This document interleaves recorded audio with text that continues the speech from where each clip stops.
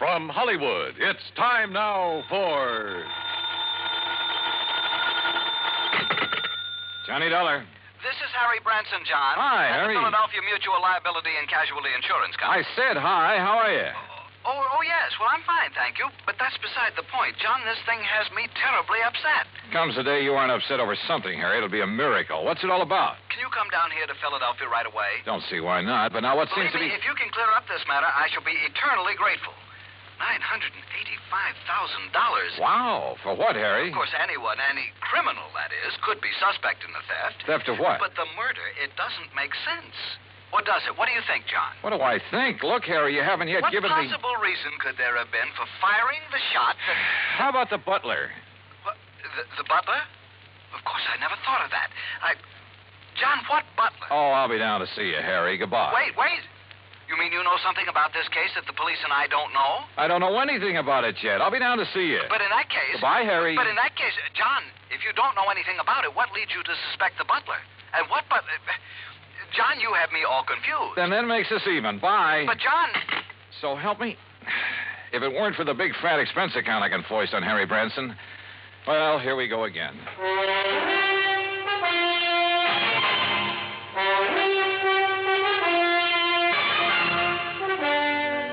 Bob Bailey in the exciting adventures of the man with the action packed expense account. America's fabulous freelance insurance investigator. Yours truly, Johnny Dollar.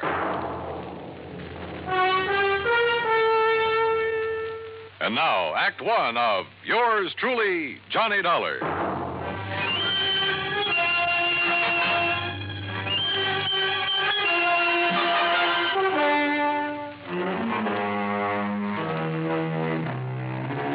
Expense account submitted by Special Investigator Johnny Dollar to the Philadelphia Mutual Liability and Casualty Insurance Company, Philadelphia, Pennsylvania. Following is an account of expenses incurred during my investigation of the ingenuous jeweler matter.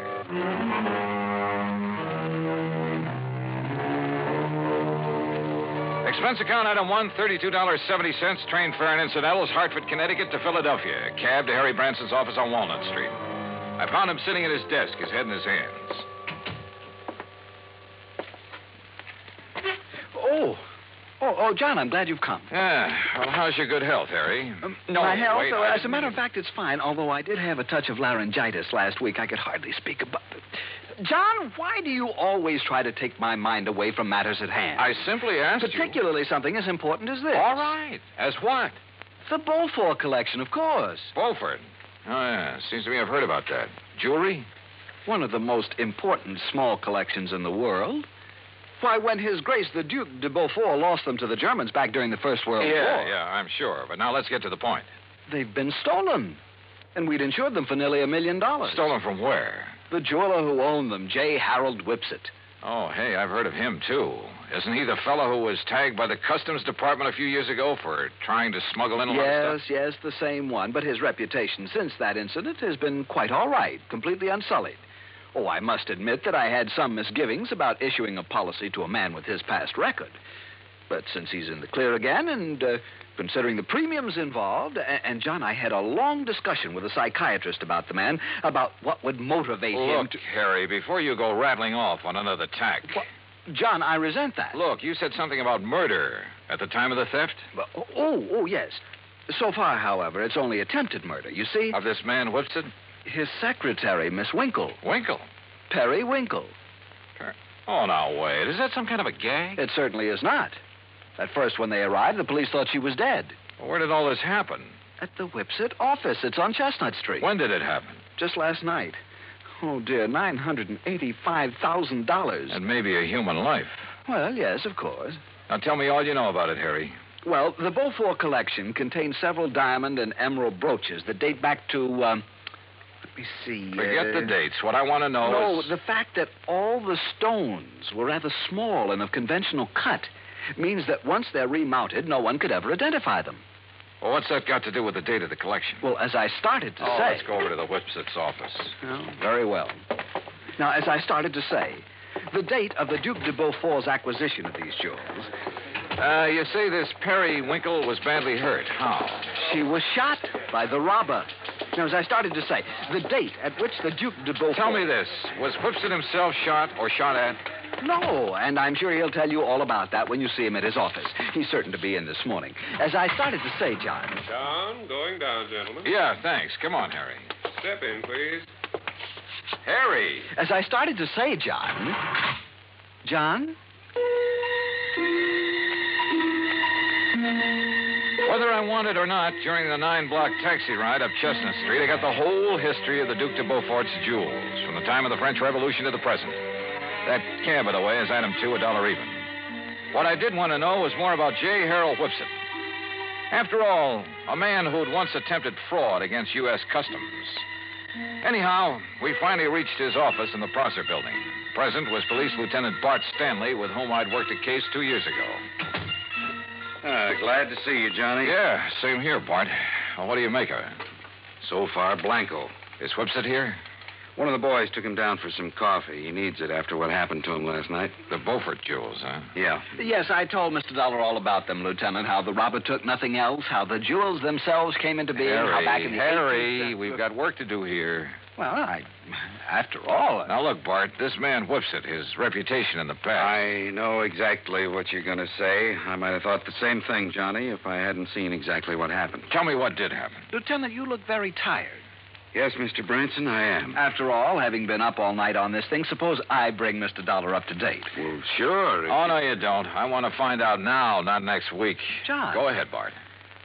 Well, Whipson and his secretary, Perry Winkle. Isn't that a name? Yeah, sure is. Where is she, by the way? Jefferson Hospital. Anyhow, they were here very late last night working on the books. Came a knock on the door. Whipson opened it. This man barged in with a gun and demanded the Beaufort collection. And? Well, Whipson argued with him, finally gave in when the guy threatened to shoot him. But Miss Winkle made a dash for the door. The intruder let her have it, held the gun on Whipson, tore out the telephone line, then locked him in and disappeared. And that's it. Wait a minute. How could he lock Whipson in his own office? This lock opens from the inside. Hmm? With this, Johnny. What? This little rubber doorstop? That's right.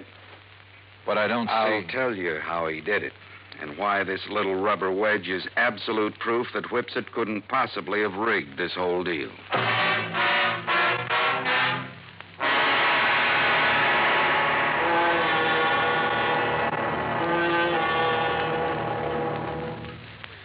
Act two of yours truly, Johnny Dollar, in a moment. For a long time, people. And now, Act two of yours truly, Johnny Dollar, and the ingenuous jeweler matter.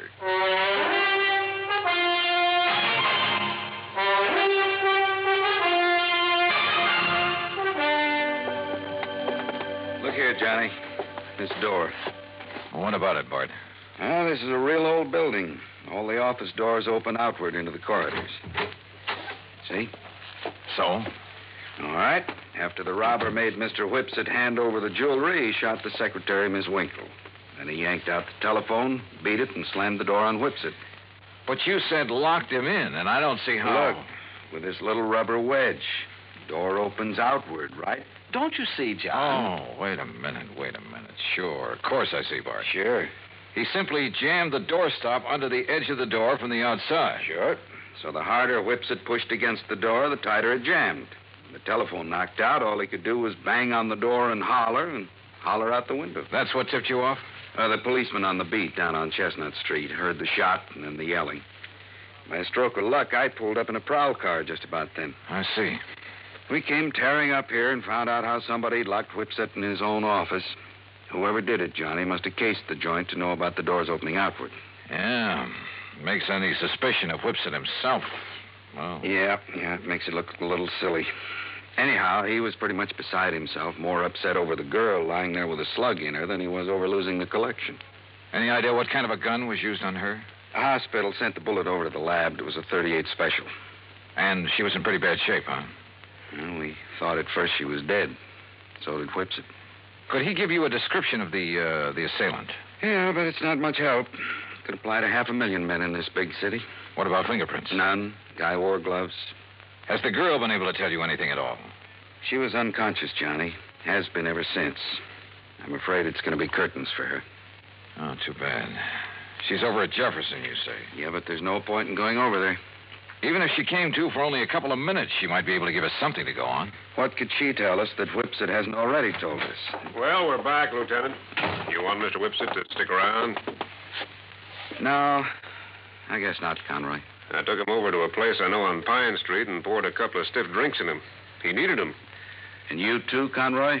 Oh, now, Lieutenant. Mr. Whipsit, this is Johnny Dollar, insurance investigator. Uh, uh, oh, Mr. Dollar. How are you? You know Mr. Branson, I guess. Oh, yes. Oh, yes, indeed. And may I tell you, Mr. Whipsit, how dismayed I am by what's happened here. Oh, thank you, Mr. Branson. It's, it's been a terrible, it terrible... certainly has. 985000 I, I, I was speaking of poor Miss Winkle, sir. Oh, yes, of course. Yes, yes. Mr. Whipsit, uh, this girl, Miss Periwinkle, uh, she was your secretary. Uh, she was she was more than that, Mr. Dollar. I, well, I I loved her. H- how is she, Lieutenant? Has there been any word from the hospital? Well, Yes, uh, Mr. Whipsit, there has. And it's proof that modern medicine is a very wonderful thing. What? Oh, what do you mean, sir? Yes, John. I... It um, may take time, of course, a long time. Yes. As a matter of fact, she hasn't even regained consciousness yet. I, I see. But uh, it looks as though she'll fully recover. Oh, I see. Well, I I hardly need tell you how I feel about that. How glad I am. I told that little white lie to see what, if any, reaction I'd get. And I had a strange feeling that his words, how glad I am, were not quite true. Fortunately, neither Harry Branson nor the lieutenant questioned my apparent knowledge of the condition of the girl. Even better, the lieutenant rose to the occasion. Well, as I see it, there's really nothing further we can do here. You look like you could use some sleep, Mr. Whipsit. Oh, and Conroy and I'd better get back to headquarters, see if the boys have run down anybody who fits that description you gave us. Yeah, good idea. Let's go, huh? And, Mr. Whipson, you close up and go on home and get some rest. Yes, huh? I will. Thank you. Thank you very, very much. You have no idea what a terrible shock this has been for me. Of course, you'll keep yourself available if we need you further. Oh, of course, Lieutenant.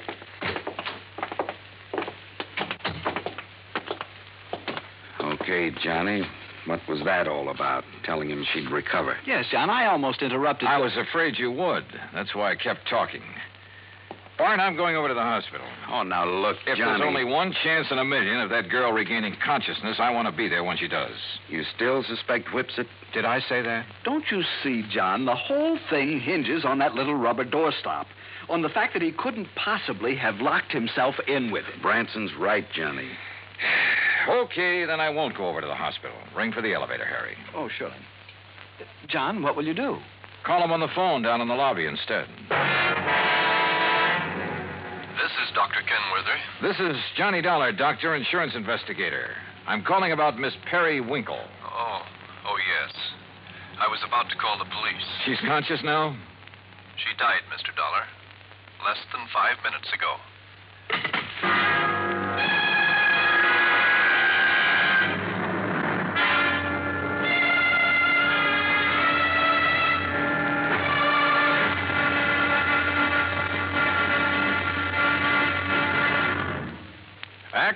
Of yours truly, Johnny Dollar, in a moment. Our flag heaven. And now, Act three of yours truly, Johnny Dollar, and the ingenuous jeweler matter.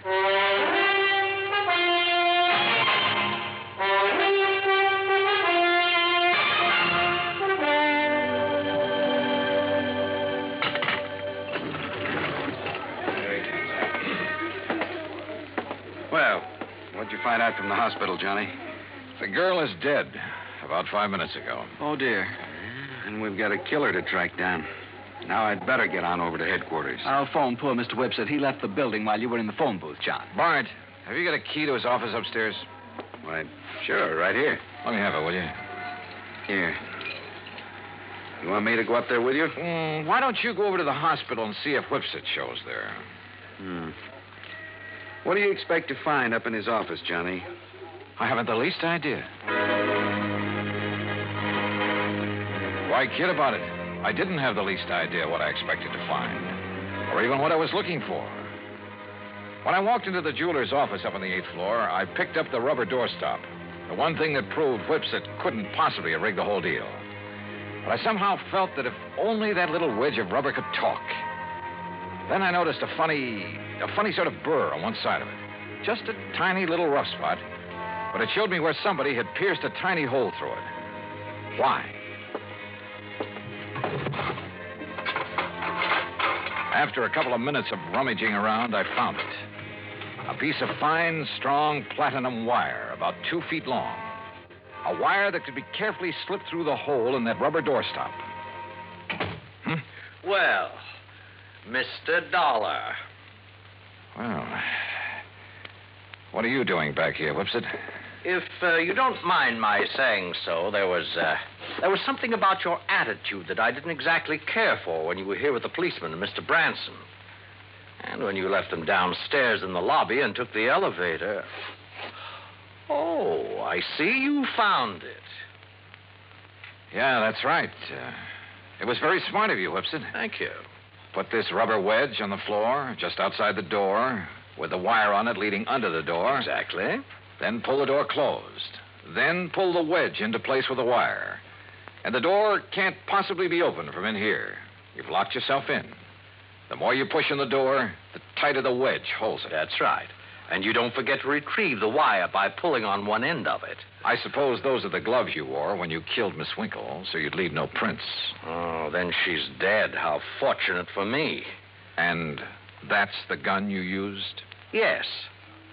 I'm afraid she was rather averse to my breaking down the Beaufort collection, uh, melting down the mountings and secreting the stones at my home. And of course, claiming the insurance money, but after all, nearly a million dollars. Why are you telling me all this? Because, you see, this is also the gun that will kill you. After which I shall lock your body in this office using the doorstop again. it's a rather nice touch, don't you think? Is it? Well, don't you see? It's now a sort of uh, a trademark of the completely unknown thief, the unknown killer of both the girl and you. Oh, now, wait a minute. Do you think if I found out how you did it, the police can't? Did they, even after their lab crew spent the whole night up here? Yeah, I guess you got a point there. Yes. Now, turn around, Dollar. Well, turn around. Well, You see, I'm going to have to shove this gun into your back to muffle the sound. look, Whipsit. Unless you have a better idea. Well, I have. What? Oh, me. Oh, I suppose I might have known this whole thing seemed too easy. All right, Lieutenant. All right, Conroy, wrap him up. Right, Lieutenant. Hands out, Whipsit. Johnny, I knew you had something up your sleeve when you came back up here. Just wouldn't let me work it out alone, would you, Bart? All right, what was it? What did you find out that tipped you off? Oh, you'll never know from me. Huh? After all, I might want to use it to stump you sometime. Oh, now look, Johnny. Okay, ask Whipsit here. He just loves to explain things. At great length, too. At least it was long enough for you boys to get up here. I know something he's not going to explain his way out of. Let's go, Whipsit.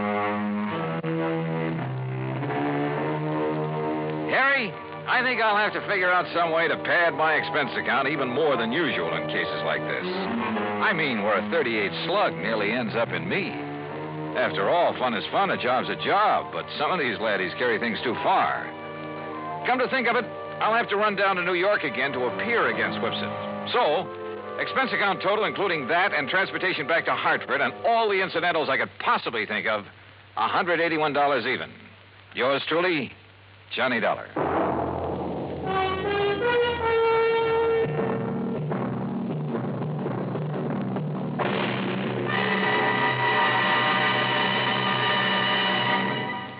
Our star will return in just a moment. With the bigger, more everywhere. Now, here is our star to tell you about next week's story. Next week, an inventor with a device that can either save or wreck our country. Join us, won't you? Yours truly, Johnny Dollar.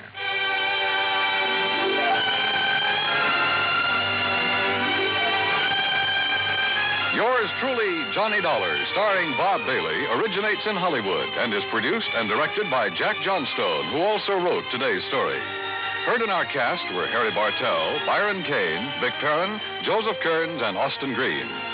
Be sure to join us next week, same time and station, for another exciting story of yours truly, Johnny Dollar. This is Dan Cubberly speaking.